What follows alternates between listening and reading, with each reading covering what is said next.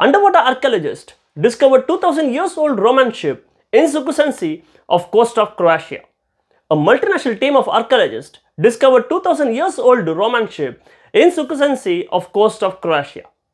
The discovery was made by International Center for Underwater Archaeology in collaboration with the German Archaeological Institute and the multinational team.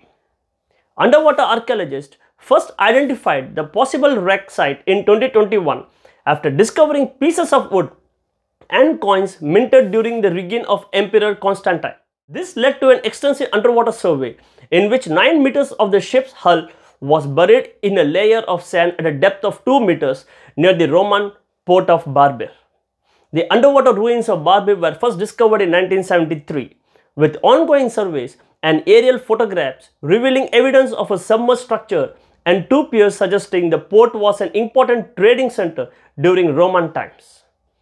Early dating suggests the ship was about 2000 years old, sometime in the 1st or 2nd century AD during the early phases of construction of Roman Barbir.